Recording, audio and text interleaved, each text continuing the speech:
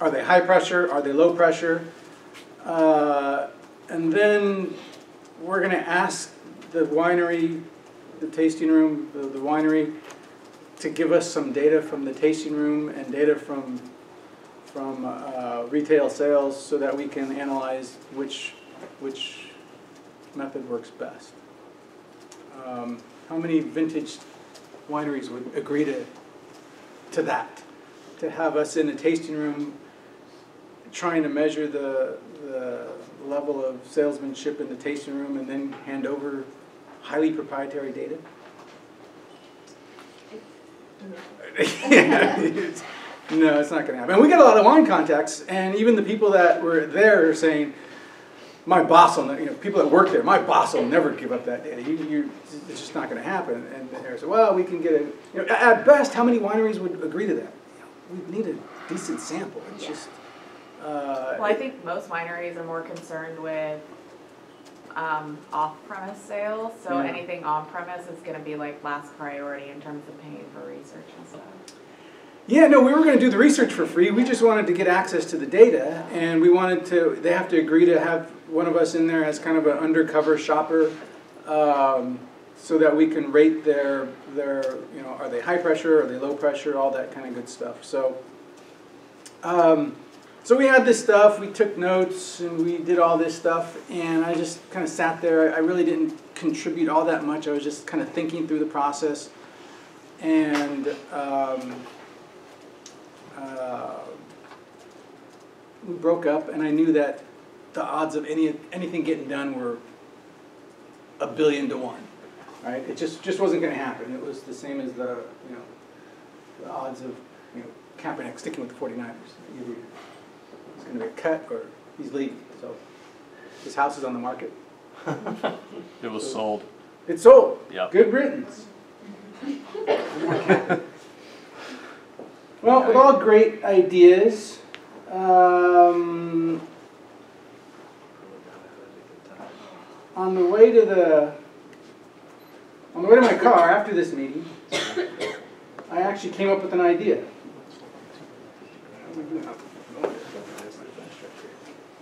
It still should open.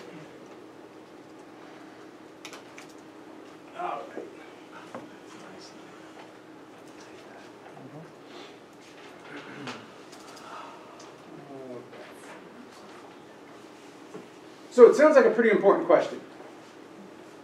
No? Yeah, I think so. And, and this goes to, it's not just wineries, it's uh, car salesmen, it's, you know, the Gap, wherever you are. Uh, There's this question of how do we train our, our salespeople? And this turned into a paper. Called Experiential Marketing and Long-Term Sales. That's the term for the experience, um, the ex- the tasting room experience. So it's,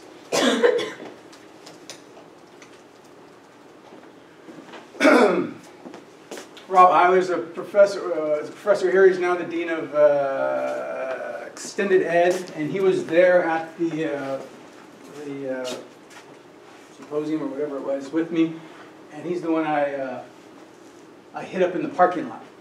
And so so before I got in, in my car, uh, walking back, and Rob was behind me, and I came up with an idea, so I, I chased him down. I think he was going the opposite way. I chased him down, and I, I ran this by him, and he's like, "Nah, it's never going to work. Your idea's never going to work."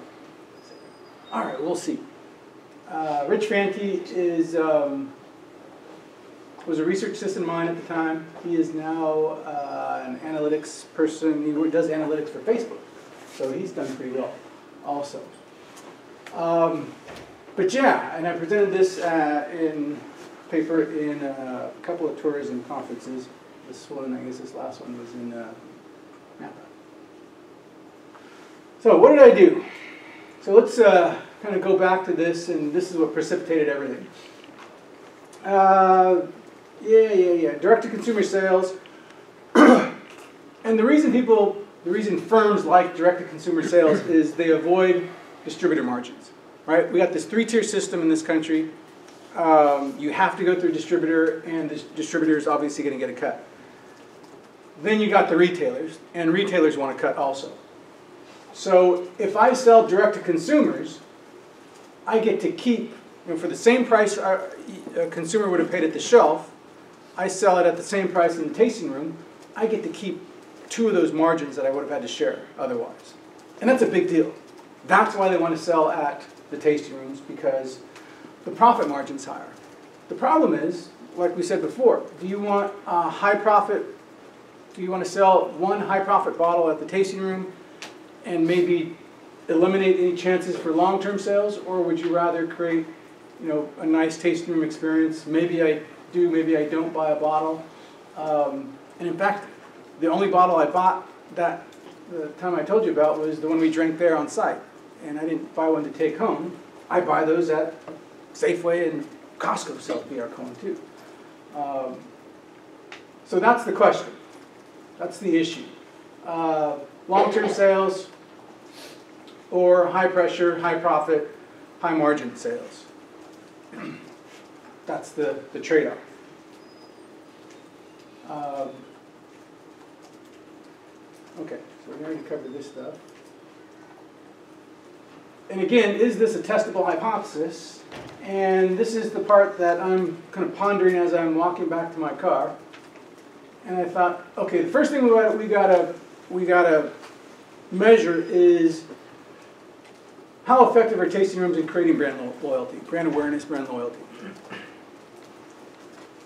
Do I go to a tasting room, try the wine, and forget about it afterwards, or does it actually create some brand loyalty? And to do this, I used a familiar methodology. It's the methodology we've talked about before. Uh, treatment versus control group methodology. What we don't have is what we had in the last uh, problem set, which is the before and after. Right, so like with Sideways and like with the new store opening, we had before Sideways, after Sideways.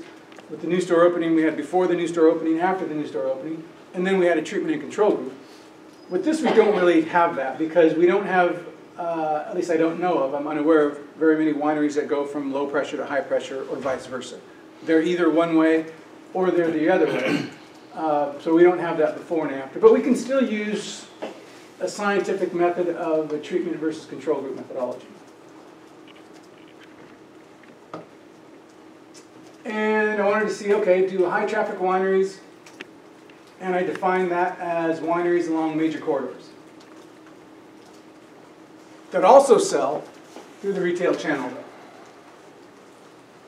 Because really that's where we're going to end up doing our measuring. Our measurement is going to be if we're creating brand awareness, brand loyalty, brand ambassadors, people that go out and advocate the brand, like I just did with that BR Cohn story. If that works, then really we're going to see that effect through sales away from the tasting room and through the retail channel. Does that make sense? Yeah. So we need two things. You got to have a, uh, a tasting room, and you, you also have to uh, sell through the retail channel. And our control group will be uh, low traffic tasting rooms. Again, wineries that are off the major wine corridors, but also sell through the retail channel.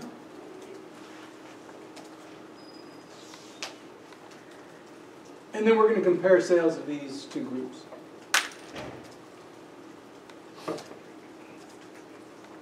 And our test statistic is just going to be uh, the growth of sales away from the tasting room. That is through um, the retail channels, grocery stores, drugstores, and liquor stores, which are the channels that are captured in the Nielsen data. Um, IRI captures data also from convenience stores. Nielsen data, I think, is starting to capture some of that data, but for the period we examined here, Nielsen hadn't started capturing convenience store sales yet, uh, although they have now, recently. does the high traffic versus low traffic reflect their sales tactics? Because isn't the sales tactic what we're trying to measure? Yeah, but we're not getting to that yet. So that's gonna be the second research question. Um, And that's gonna be probably questionable too. So right now, we're just trying to see, okay, does, do, do tasting rooms, are tasting rooms effective at creating brand awareness? Then the second question is gonna be, which kind of tasting room atmosphere is, is more effective? So, at least that's the way I thought of it, thought it in my head, um, is that you had to answer this question first, uh, before you can answer the second question. All right, so I got out a tasting room map, which I keep in my car all times. And I defined areas that I'm familiar with. So I live in the Glen Ellen area, so um, we have a nice little corridor there. Kenwood, Glen Ellen area where you got B.R. Cohn, you got Arrowood, you got Chateau St. Jean, you got St. Francis, you got the rest. There's quite a few. In fact, there's, there's eight that, that I know of that both have tasting rooms on that corridor and are sold through the retail channel. So we can buy any of these brands um, at almost any, any grocery store, for example, or liquor store, or drugstore, for that matter. And then I wanted to find some off the beaten path. And I defined off the beaten path as Dry Creek and Alexander Valley. Um, simply because it's further, yeah, it's further north. You got, it, it takes some effort to get there. You got to go up, you know, from from Glen Ellen to to to uh, Alexander Valley is another 25, 30 minutes easy. Is that about right? No? Yeah, More? Oh, yeah. probably, well, yeah. Depending on how you go. But, yeah, I like to go the back way, which is scenic, 25. yeah. So if you're coming from, you know, uh, San Francisco or, and when people go wine tasting, you know, they always start in Napa and then they maybe come to Sonoma. Uh, that's kind of further out there. It's, uh, it's beautiful. It's gorgeous country, but it is, I would say, lower traffic. Would you not? No? They're Yeah. similar? I think if you're doing visitors maybe, but locals who do like most of the tasting around here, I would say more go to like the Dry Creek and like the center. I think you're, I think you're right too. But that's just, yeah. I think you're kind of right too because um, I've been wine tasting in, uh, especially Dry Creek. Dry Creek gets really bad, uh, worse than Alexander Valley, I think. Um, but I uh, would agree. I had to find some high traffic, low traffic. So Well, I could have went Mendocino. well, I, I, like Alexander Valley and like a lot of those local ones that are kind of off the beaten track, I noticed they engage more a little bit with like local events than outsiders, like Simi Yeah. Winery and Alexander. I see 'em more at like the local, you know, the county leaf event or the, you know, certain little award Yeah. ceremonies. They need to. Yeah, so like, yeah, it's like, yeah, so I see like that, them as needing locals more and perhaps trying to market to them more even. Yeah, it could be. Uh, it could be. So um, it's iffy. It's iffy. So, but this is the, this is the treatment and control group I chose. These are the treatment and control groups I chose. And I wasn't real happy with these, so I also said, okay, let's look at all wines. So there's there's you know when there's overall macro economy, and we want to see how our treatment and control group uh, behave relative to the sale of all wines. Just, we're gonna add up all wine sales, foreign, domestic, tasting room, no tasting room, and just compare them to that. Uh, and another one I wanted to do was, I wanted a big name brand that everyone knows, but doesn't have a tasting room. And that was tricky. Any guesses? Does Sutter Home have one? What's oh, that? Yeah. They do? I don't know. Yeah. Gallo Sonoma had a tasting room for a while, and, and that seems like a long time, but it was gone and it was there and gone really pretty pretty quick. And it was a tasting room in the square in Healdsburg. Um, So I use Gallo Sonoma as another control group to say, okay, you know, they don't have, they don't, they had a tasting room for a while, uh, but they closed it down for a reason because nobody went. Uh, it was really nice, by the way. Did anyone see it? It was, it was really nice. It was a pretty nice tasting. room. Um. And they were one of the early ones that put tasting rooms in the square. So um, now there's all kinds of tasting rooms in the square. In, in Healdsburg, there's tons of tasting rooms in the square. In Sonoma, uh, just the idea of the, the you know the tasting room in a, in a more industrial area next to you know gift shops and clothing shops um, was relatively new when they when they opened their tasting room in the Healdsburg Square. And again, I agree with you, those of you that are apprehensive about my treatment and control groups, I wasn't happy with them, but I couldn't find um, enough wineries in Mendocino that um, I had data on, so. And Mendocino is out there, that's, that's definitely low traffic, so. uh, And I, but I could have used Paso Robles or somewhere, I- it was, I just wanted to stick with the local area. All right, so apprehensive here, sure. Then I just compared uh, sales volume, this is, this is overall sales volume by price point to see, okay, make sure we're not comparing apples and oranges. You can see that the Highway 12 uh, wineries are more highly represented in the lower price point, whereas the northern Sonoma ones are more represented in the 10 to 20 and over price point. And Gallo Sonoma is Gallo Sonoma, so they're in their own point.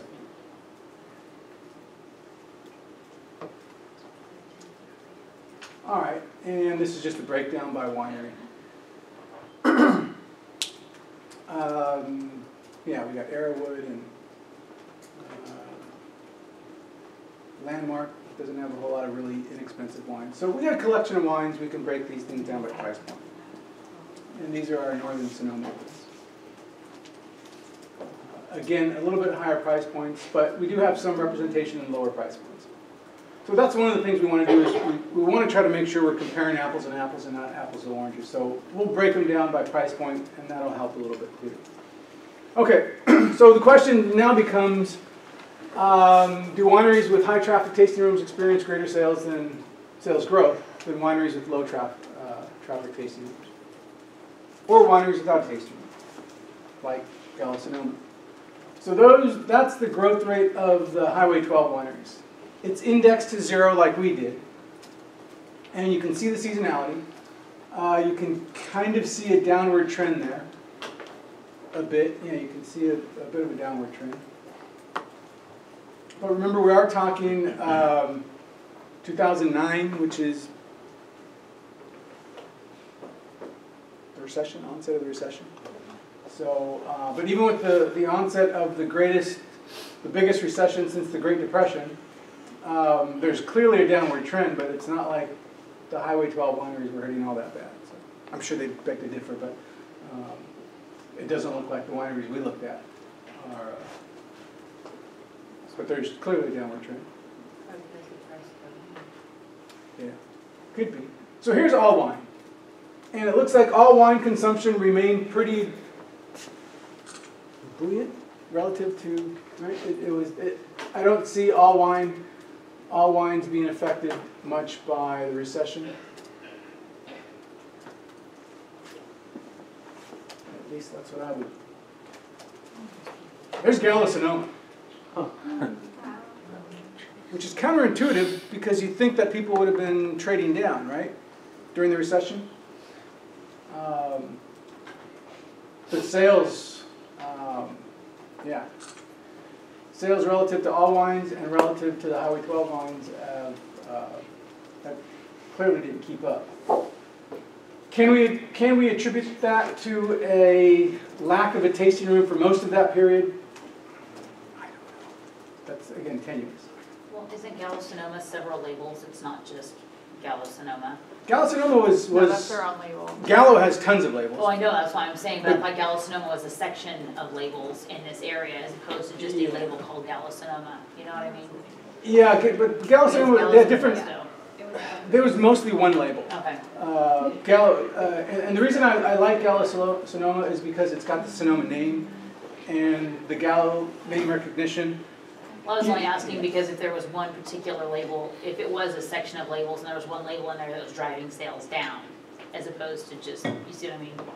There could have been a different factor, than Yeah. it was multiple labels. So the way I captured it was I captured all of uh, the subcategory of Gallo Sonoma, uh, which is under the Gallo brand.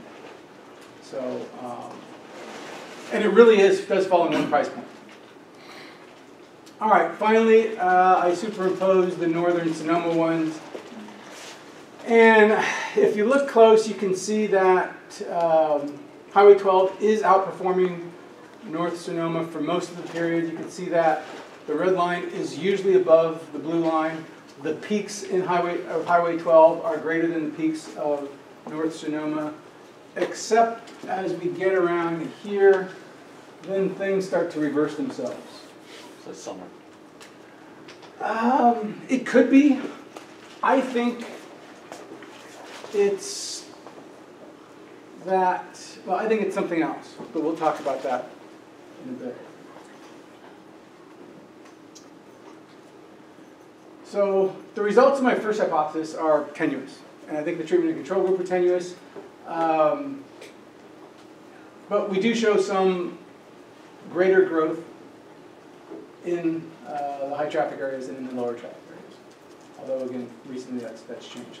Although I would say this, just to kind of lean to that, uh, to, to give you a hint of that, that change might be because um, Highway 12 has become maybe somewhat too crowded at times, maybe. But there's definitely a reversal. All right. Uh, By price segment, here are the under 10 wines for Highway 12, all wines, Gallo Sonoma, and this is Gallo Sonoma's uh, price point. But again, still not performing like uh, Highway 12. This is uh, 10 to 20. Kind of a mess, but you can see them following this, a similar pattern uh, up until early, uh, late 2009. And you can see, you can see the recession really hit. Uh, Here's the economy growing, and here's the recession here. So, again, this is just strange. That a high, a high name recognition wine at a lower price point would be affected more severely than um, these Highway 12 wineries. So that's, that's strange in and of itself, I think.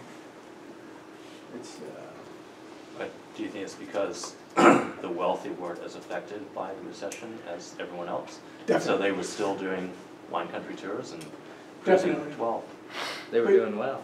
but you, but you would expect uh, some trading down, so some of the, the, you know, middle income people trading down to lower price wines, and, and we heard about, we heard that term trading down a lot. And that, that's true not just in the wine industry, but in, you know, cars and everything else. We saw trading down just across all, uh, Walmart was doing great during the recession. Uh, So, uh, higher price point, again, this isn't really Gallo sweet spot. Highway 12 doing less than all wines. And then 30 to 40, Highway 12 probably doing more, uh, better than all wines.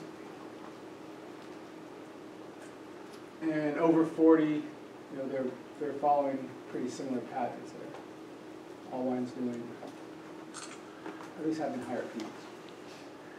And the peaks are important because, as we know in the wine industry, we make most of your money in October, November, December.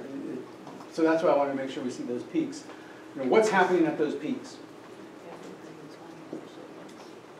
Yeah, uh, but these are retail sales. And the thing that I want to look at is really, well, when we look at the second research question. So here's all the price points together, and you can kind of see where Highway 12 is outperforming the other ones. It's at the low end, and then at the, not the highest end, but at the higher end. But again, these results, I think, are, are somewhat mixed, and it even says in the paper the results are somewhat mixed. They're not contrary, they're just not real strong results. We can, we can formalize this, again, this is just a graphical analysis. We'll formalize this with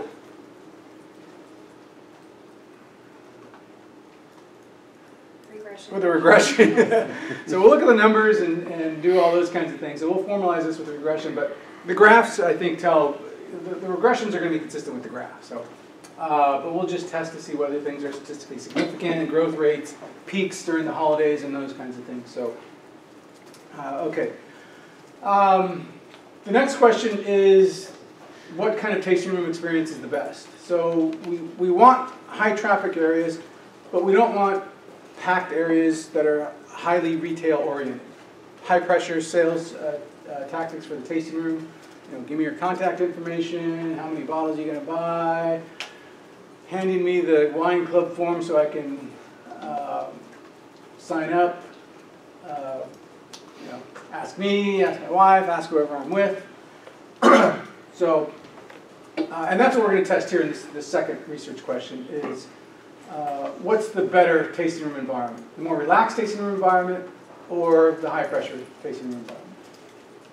This is hard too because we need to figure out how to create a treatment and control group. The distance one was kind of easy, even though we, I don't think I did that great of a job on it, because we can just use distance. Distance from San Francisco, for example, or distance from Napa, uh, which is really what I was thinking when I chose Northern Sonoma. Uh, if you're coming out here, you want to drive another 35, 45 minutes up to Northern Sonoma. So treatment group uh, is going to be high traffic, high density, high pressure versus uh, high traffic, low density, low pressure. That's going to be our control group. And then our test statistic is really going to be the same thing. We're going to look at retail sales away from the tasting room. Now, I actually thought of this one first because this was the, the original research question. We got to figure out an area that, a treatment and control group, a high traffic area and an equivalent high traffic, uh, highly retail oriented, high pressure sales environment, and then an equivalent control group that is similar but has low pressure, enjoy yourself kind of a tasting room environment. Um, when you think high traffic, high pressure sales tactics tasting rooms, what's the first thing that comes to your mind? Highway 29. Boom. So I broke, broke out my Napa map this time. And yes, Highway 29. The nice thing is we got a ton of wineries along Highway 29. And you guys have been there on the weekends, and I've, I've stopped going on the weekends. If, if someone visits me and says they want to go on a Saturday, it's bumper to bumper for one cars. Not to mention, once you get inside the tasting room, it's elbow to elbow. Uh, on top of that, it's more Disneyland than it is anything else. So if you've been there on, on the weekends, you know, if you go on Monday or Tuesday or something like that, it's, it's fine. But on the weekends, it could be just really bad. okay. What's our control group? What's similar to Highway 29, but much less Disneylandish? Silverado Trail. Yeah, the Silverado Trail, which is awesome because they practically, well, not practically, they run parallel with each other. But the tasting room environments are more, at least the ones I've been to, and I've been to a couple on Silverado Trail, but they're more like BR Cohn. Right. Take the wine, go outside. I'll come out in a few minutes and give you the second pour. You know, enjoy yourself. It's not they're not fight. They're not fighting over over trying to get to the, the, the bar to get my, my next taste. It's it's an enjoyable tasting room environment. They let you relax. I don't think I've ever been asked if uh, if I'm going to buy a bottle, or I've never been asked for my contact information or my email, or whether or not it, whether or not I want to join a club. you, you just go in there and it's a they, they try to create. You okay? Easy problem setups. But the problem's it, all right. Yeah. Is, is that sound familiar? Is that the kind of experience you've had? Yeah, Yes. We really have to go through our own, to construct these, these treatment and control groups, we have to use our own inside kind of knowledge of how to pick a treatment and control group. Yeah, Does it make a difference, um, that there's so many more low traffic, like it's not an equal amount? I could have, So do you um, look at like the production of it instead, or, but I see some pretty big names on your low traffic. so yeah, a- and I did, I, I- I controlled them by, uh, total cases sold per year, production, basically, Okay, and it didn't change the results. oh, it Um, didn't? No, it Oh, didn't. wow. Because I would have thought that a big, the bigger wineries have bigger marketing budgets and they're, they would have more name recognition. So that was, that was, uh, uh, better distribution. Um, and I included a lot of that stuff in the paper and it didn't end up making a difference, so. I'm surprised Tui's not on the twenty-nine one. That's gotta be the highest traffic, highest density one on twenty-nine. You can't buy it in retail. They don't sell in the, in the tasting room? Oh, wait, they don't sell in retail, you're right, Retail, you're right, yeah. yeah, they only sell in the tasting room. Exactly, but it's, uh, it's huge yeah. So, um, okay, so, yeah, and I guess in this class it's pretty easy, um, to figure these out. And this is what I figured out on my, on my way to the car. That's, that's a perfect treatment and control group. I ran that by Rob and he's like, no, you're never gonna see any difference. So, just to mock him, I made him co-author on the paper, so. He, he's the one that doubted. Well, you haven't seen the results, so maybe I don't see any difference.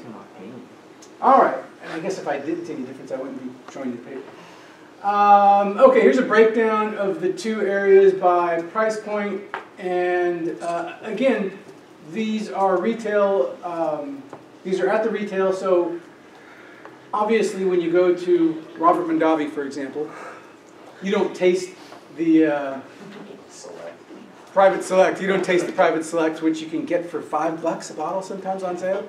Yeah. So, but they have a nice Napa Valley cab that's, you know, 80, 90, 100 bucks. Uh, but in the retail sector, you can see that Highway 29 is much more heavily represented at the lower end than, um, uh, than Silverado Trail. And the scales are different, by the way. If, uh, it's hard to see, I had to make these small, but this is 2 million cases. This is That's 'cause Sutter Home's.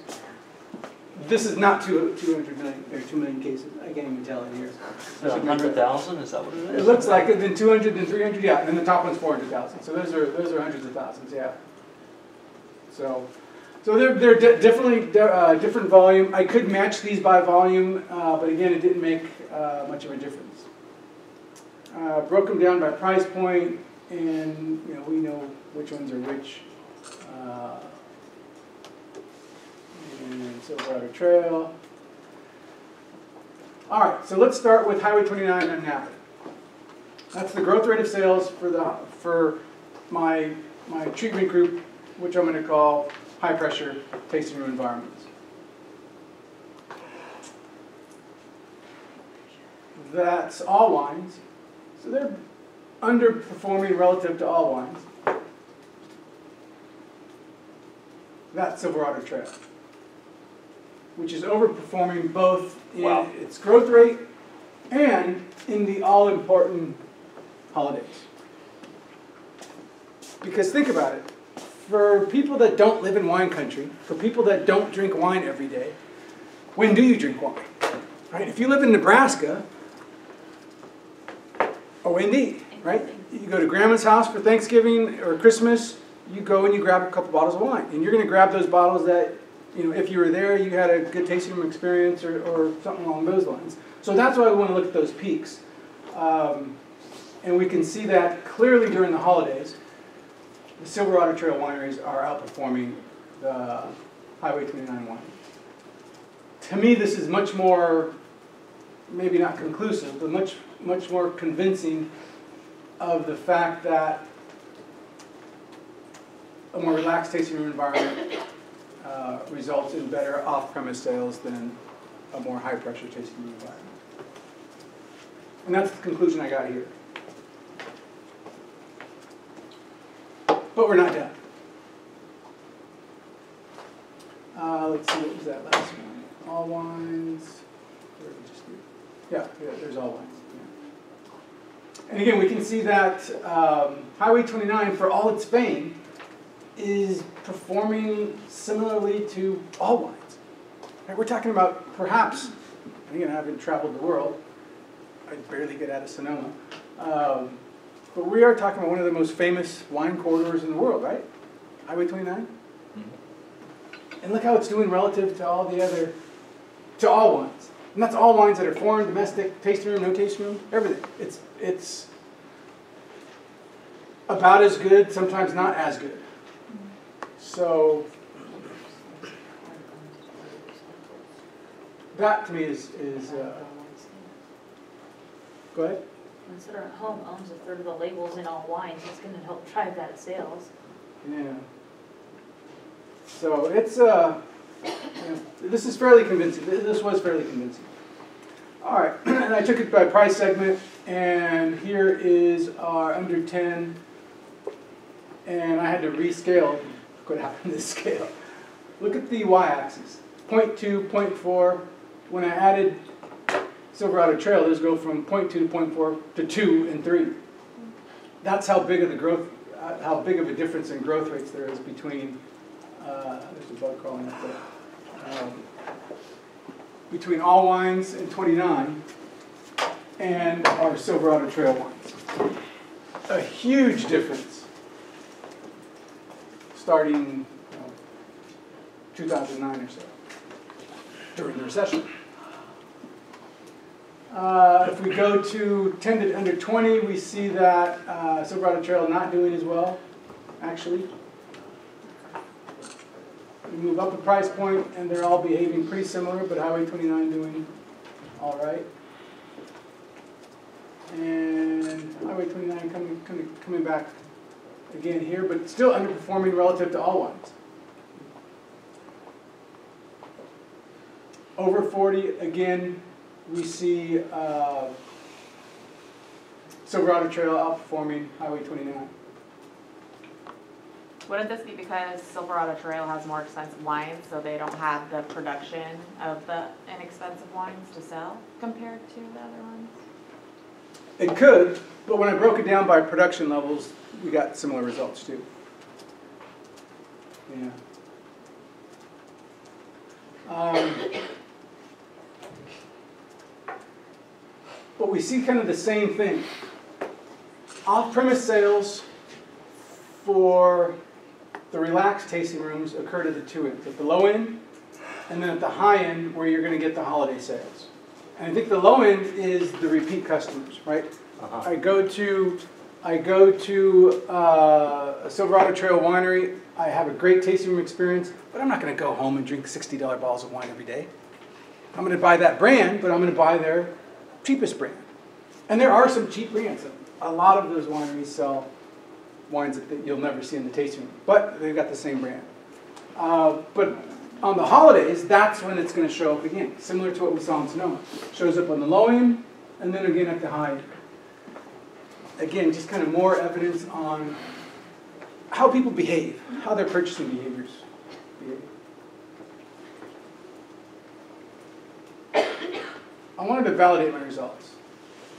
And what I noticed in the data, when I was looking at the map, the tasting room maps, I noticed there was a little diamond on the wineries. Anyone know what that diamond is?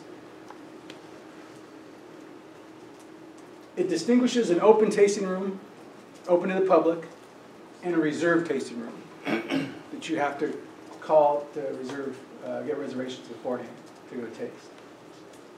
And this was perfect. Because what we could be doing, what I could have been doing, is mixing up open tasting rooms and reserved tasting rooms and comparing apples and oranges instead of apples and apples. So what I did was I said, okay, let's um, compare open tasting rooms on 29 with open tasting rooms on Silverado, and re- reserved tasting rooms on 29 with reserved tasting rooms on Silverado. And the thing that's gonna, I mean, think about this. The thing that should happen is the high traffic tasting rooms on Highway 29 So they're benefiting from hypothesis one, which is high traffic. But if they're reservation only, they're gonna have an enjoyable tasting room environment. It's not gonna be elbow to elbow and high pressure sales, right? So they should get the best of both worlds. Famous high traffic area, but low density, enjoyable tasting room. So we said overall, Highway 29 didn't perform very well compared to Silverado Trail. But now we can compare Highway 29 to itself. Highway 29 open, elbow to elbow, bumper to bumper, Highway 29 reserved. And let's see if they behave differently. Because now we don't have to worry about, you know, our Silverado Trail is different and blah, blah, blah. Now we have a much more comparable uh, treatment and control group. And the same thing goes for, but kind of opposite, the same thing goes for the Silverado Trail. Silverado Trail isn't high traffic to begin with. So the only thing a reservation is going to do along Silverado Trail is what? Make it even less traffic. So uh, they're already low traffic, low density, low pressure sales tasting, tasting rooms. So reserve, reserved tasting rooms on Silverado Trail, in my mind, shouldn't perform any better or worse than open tasting rooms because there's not really a problem of, of uh, high traffic, high pressure tasting rooms on Silverado Trail to begin with. So you're fixing something that's really not a problem. So the only thing that re- re- reservations are going to do to the wineries along Silverado Trail is reduce the number of people that go there. So, which is the whole point of a reservation. But again, reser- I don't think traffic's much of a problem on Silverado Trail to begin with. So it shouldn't change the overall results in theory very much. It should confirm my hypothesis. Yeah. All right. So here are the 29 open and reserved tasting rooms. All famous names, I've been a couple. Here are their sales volume by price point.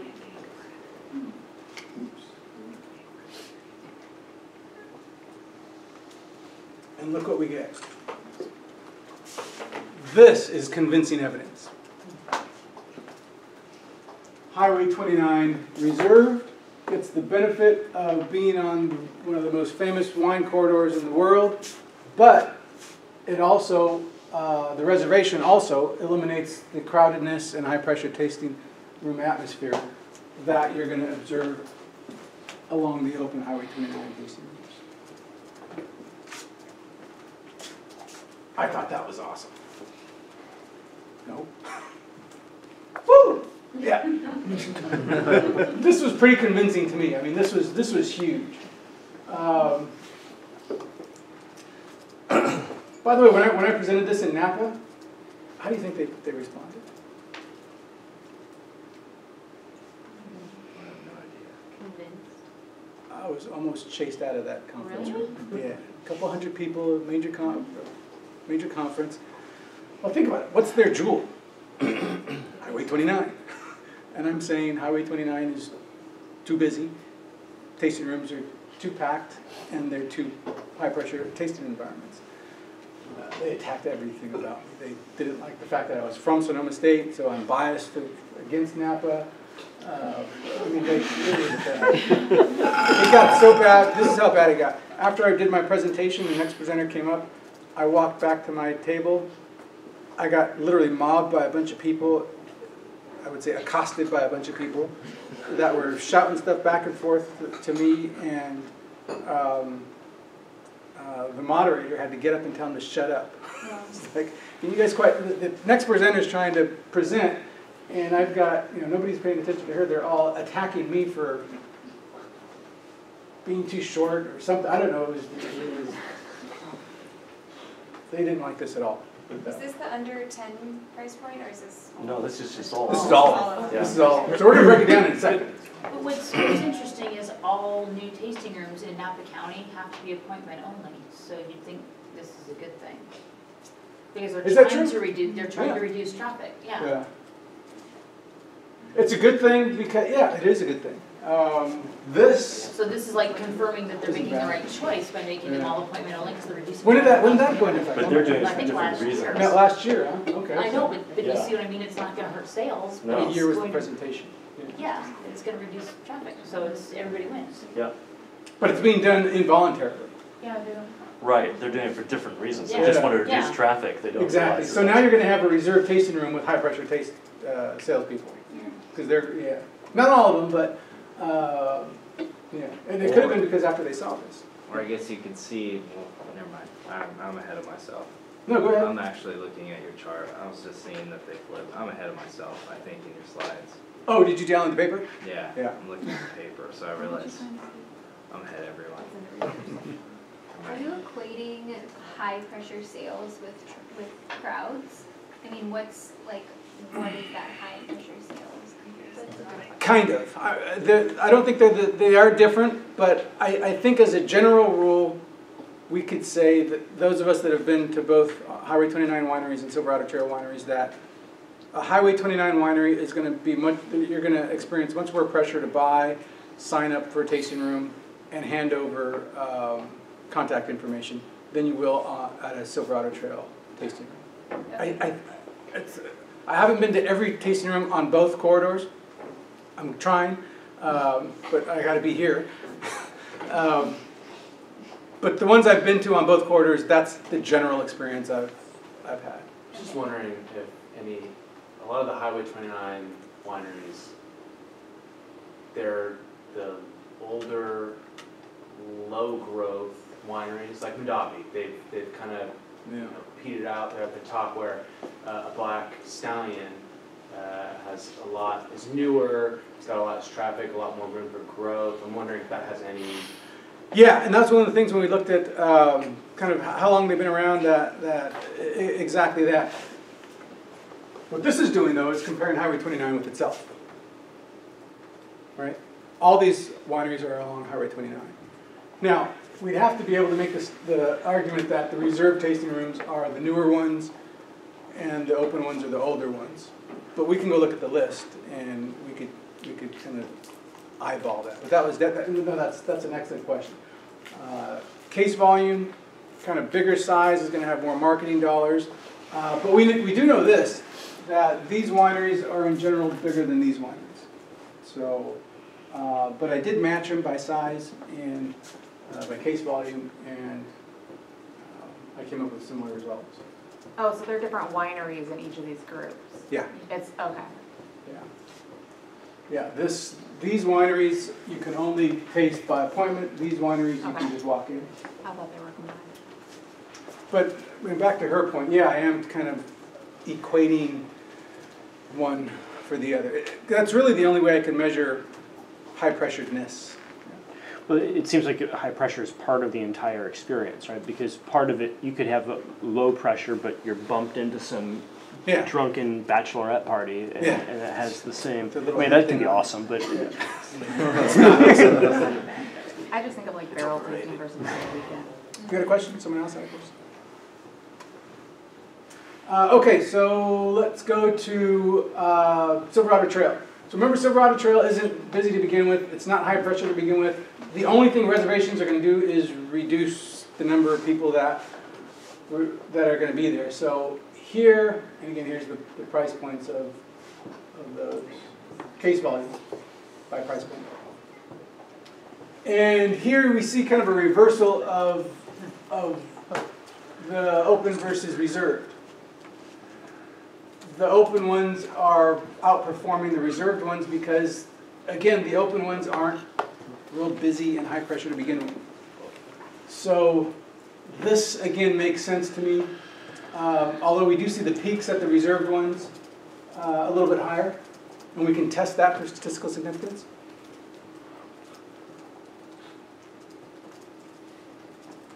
So does this one make sense? Kind of why we're not seeing the reserve outperforming the, the open because, so again, Silverado Trail isn't uh, a real high pressure, high traffic area to begin with. Which is strange, it's, they're literally running parallel.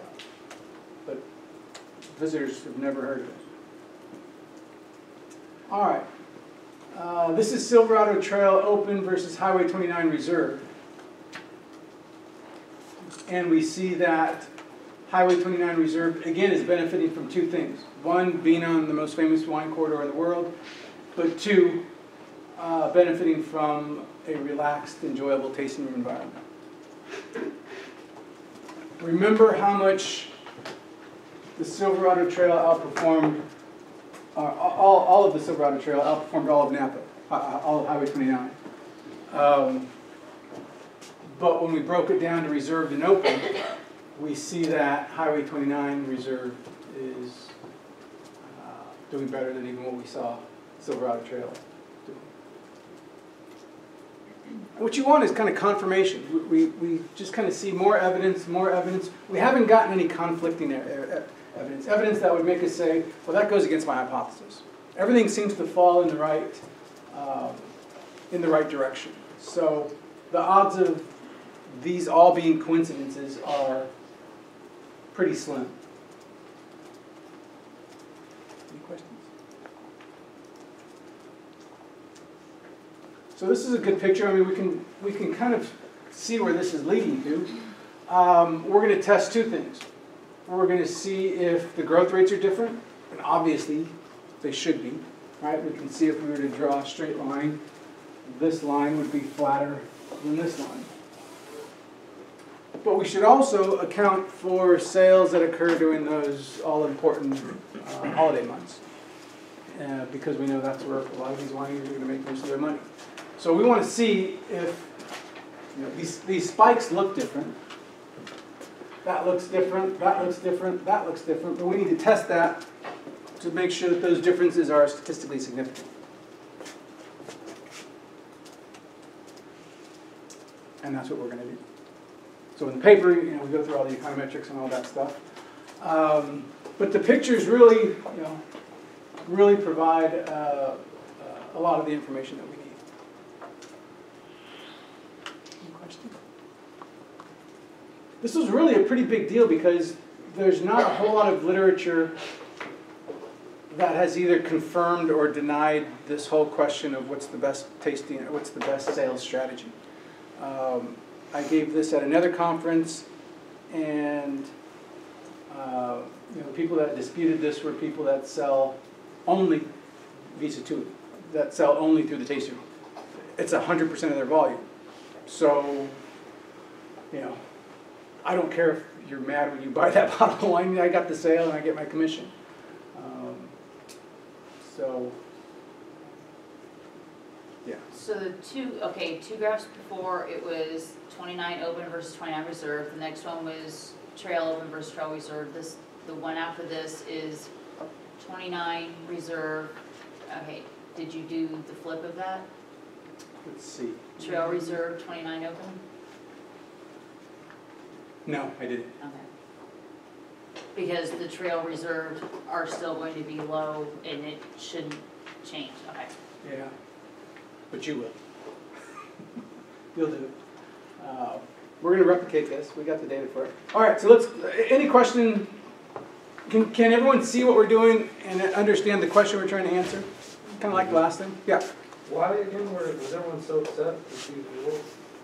Uh, the people in Napa, because I was, they, they felt I was criticizing Highway twenty-nine. I was calling it busy and, um, and that, that the tasting room experience wasn't, wasn't a good experience. And it's a standard practice to do all, that's best practice to do all the things that you're saying could be hurting the lifetime sales. Yeah. I was gonna, the thing, it's kind of like the chicken or the egg thing, where you can almost look at this and say, maybe it's not necessarily the tasting room as much as they targeted different customers, so the customers that they're attracting are different. Yeah, it could be. Um, they're attracting. Which is like the same, or you know, you would build the open tasting room for a certain type of customer. And that's actually addressed in, I think, a footnote in the paper. So Oh, that would be an issue, that would be true if we didn't see this reversal. So this reversal tells us that, well, uh, let's go to, let's- let's go to this. So this tells us that um, the reserve tasting rooms are outperforming uh, the open tasting rooms, and you're saying it could be because reserved tasting rooms attract a different kind of people than these people, right? Right. So that would be true, let's say that that's true. When we go to here, Or the other one. it reverses. So then we would say, but that's only true on Highway 29. Be- Here, the behavior, now these are better, more loyal than these people. So the results, so if that is true, it bounces around from, from corridor to corridor based on, yeah. So uh, that's actually addressed in a footnote. It's under the heading of uh, endogeneity. But it's an excellent question. Uh, And again, it's addressed, it's addressed in the, in the.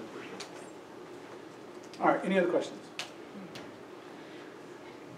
They've tried this in, in other environments. Um, They tried it with uh, cars.